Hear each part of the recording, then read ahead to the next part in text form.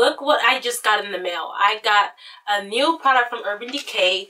Um, this is called their Full Spectrum Palette. It looks just like this. And oh my god, I can't wait to tell you guys so much about it. So if you guys want to see this, then stay tuned.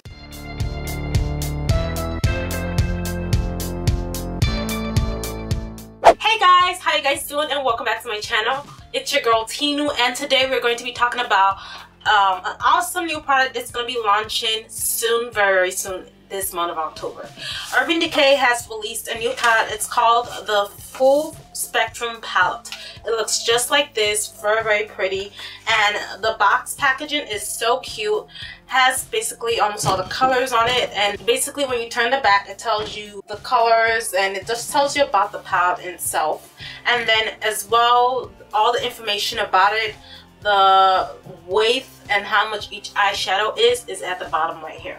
So I just actually got this in the mail and I was so excited. I had to film it today because this palette will be launching in October 26th but if you are an Urban Decay junkie or a beauty junkie you have access to get this palette right now on the website and it's $55 so it's kind of on par with the last launch of the Urban Decay Spectrum palette. So this is the full spectrum and the other one was just the spectrum. So I'm gonna bring that and show you guys so you guys can kind of see the whole deal between the two palettes. This is the old one that came out last year. This one is just in like a regular black packaging and then all the shadows are like this. So these are more jewel toned eyeshadows and the Urban Decay uh, full spectrum one is like 21 eyeshadows and it's more of colorful eyeshadows. And the cool thing about this one, they kind of stepped up the packaging from the last year's one and they made it like this. So it is an attached like cover and it actually sits. So when you're doing your makeup you can just have it laying like this and you can just do your makeup on the go. And it's a really really big nice decent sized mirror. So I really really appreciate that. I want to actually look at the net weight of this to kind of see if we were getting more uh, product. So this one is 1.3 grams per each eyeshadow. So there's 15 eyeshadows here. That's roughly like 45 grams. And I actually calculated the one for this palette this one is 46.2 grams. So the price point is actually on par with the last year's um, launch. So the last year's launch actually retailed for $55 as well but the problem is that you're getting more eyeshadows because it's in each eyeshadow you're getting more grams because it's 15 eyeshadows versus um, 21 in this one. I will give you the breakdown. So each eyeshadow in this actual palette is 1.2 grams and the net palette weight as I said is 46.2 grams the price per shadow is 2.61 dollars so it's two dollars and 61 cents the price per gram is one dollars and 19 cents so basically it's a really good deal. So you're just getting 0.04 ounces in each eyeshadow. That's the only difference versus 0.05 in this one. So I'm going to go through each of the colors and I will be showing you on the screen, letting you see the swatches with my fingers. I also am going to do a brush swatch and I'm going to be naming out the colors going that way and going that way. So each row and I'll let you know what I think about each shade. So right now the first color right here as you guys can see is called Alchemy. Alchemy is basically a burgundy satin with a slight sheen and it's semi-opaque from the swatch. It's not really that opaque. Then the next shade beside it is called Warning. It's an orangish shimmer copper shade. It's really pigmented. I actually really, really do love it. The next shade beside that is called Midnight, Midnight Blaze. It's a dark olive green with gold glitter. And it's really, really patchy and really sheer. Doesn't really show up with a brush or with a finger swatch. The next color is called 100. It is a forest green shimmer shadow. And this shadow is actually pretty good. It's pretty, pretty, pretty opaque. Um, I feel it goes on better with the when you put it on the lid than on the actual uh, swatch on the hand. The next shade beside that is called Minx. It's a dark blue shimmer with light blue glitter.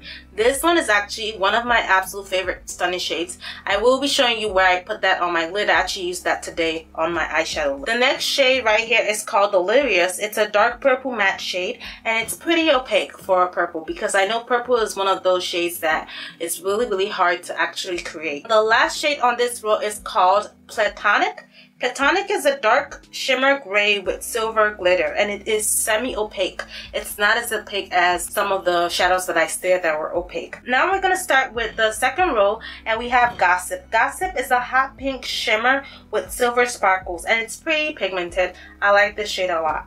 The next shade beside it is called Seas. Seas is a burnt orange satin shade and it's semi-opaque. It's not really that opaque. The other shade is called Calavera. It's a yellow buttercup matte shade with slight shimmer. The next shade be beside that is called Hatter and this happens to be a shade that came out in the Alice in the Wonderland palette that came out before this. So it's a re-promoted shade. It's a grass green matte shade with with slight glitter. So it's really opaque. This one's actually pigmented. The other one beside it is called Blindside Blindside is a hot turquoise blue matte shade and it's pretty, pretty darn pigmented. I like this one a lot. And then the next shade beside that is called Sketch. Sketch is a grape colored purple satin shade and it's semi-opaque. The next shade besides Sketch, which is the last shade on the road, row, it's called Ice. It's a silvery white glitter shade.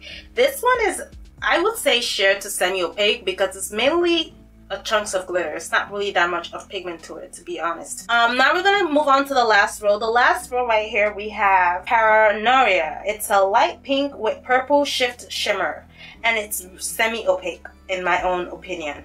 It's not that pigmented, but it's not. Um, when I say semi-opaque, I mean that it's pigmented, but it could be more pigmented. That's what I mean.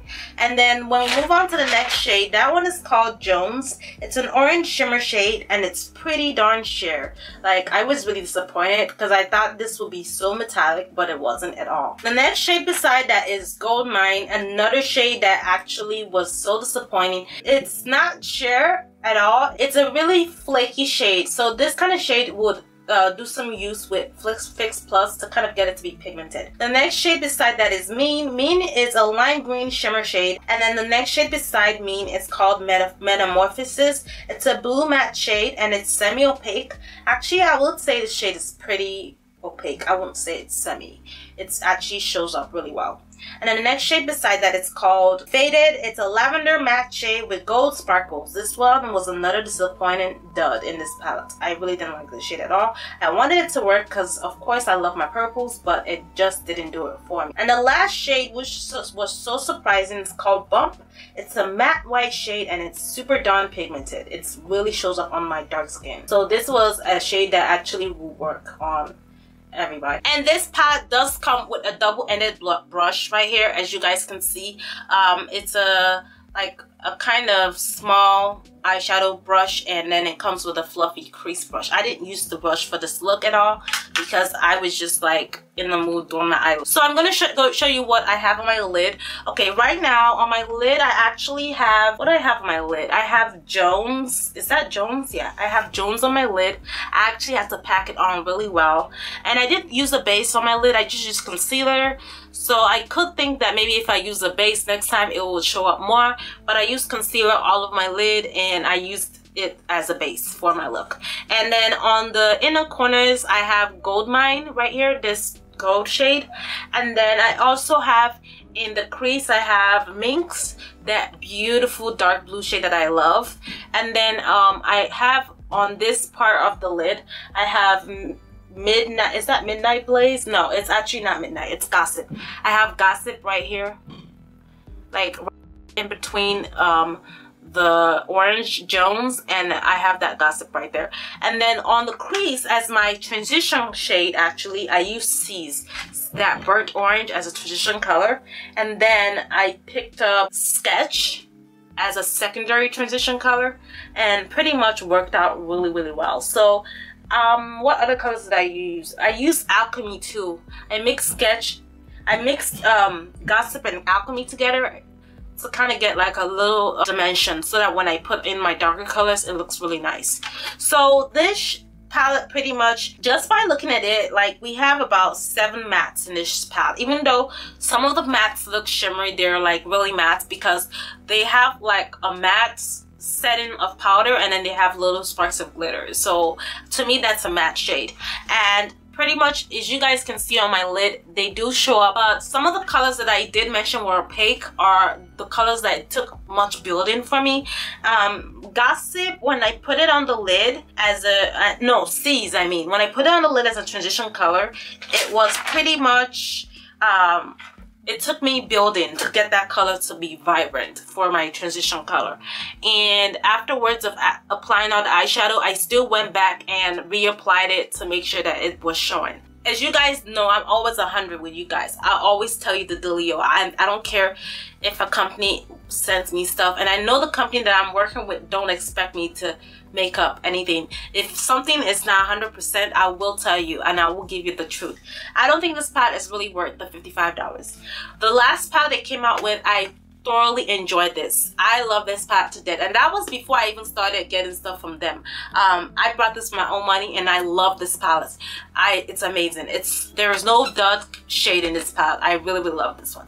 But this one, I felt like there were so many shades that could have been worked better. And I know Urban Decay is better than this. All their palettes I've had so far have been amazing. This palette was like the only disappointment I've ever seen. And I know that when they come out with another palette, they're gonna look at this feedback and bring out something more better and spectacular. This pad wasn't it for me. Um, if I was to rate it and even give it a like a fair rating, I'll give it a five. And a five for a high-end pad is to other people not worth it because you know there are other pads out there that are way less cheaper and they're way better quality. Some to me, some of the eyeshadows were patchy, some of them were flaky, some of them were a little dry. I I didn't feel that Urban Decay, Urban Decay quality in this palette. And I'm not bashing anybody. It's just that it could have been a mistake in formulation. And I know they will fix that next time. So um, if you guys like this review and you enjoyed this review and everything, let me know what's up. If you are going to still get the pad or you're going to go to the store and check it out, make sure you check it out at the 26th of October. Go to Sephora or I think Ulta probably would have it. I don't know if Ulta's getting it, but I would say go to those stores and actually swatch the colors and tell me what your opinions are. Just come back to the video and leave a comment. Tell me your opinion about what you felt with the pad. If the pad is like worth it to you in your sense. If you're new to my channel, make sure you subscribe. If you're watching me for the first time and you want to follow me on my social media, I will always have all my social media links down below. I am on Twitter, Instagram, Facebook, Snapchat, blah, blah. Yeah, that's it. So thank you guys so much for your love and support. I love you guys and I'll see you in another video. Bye.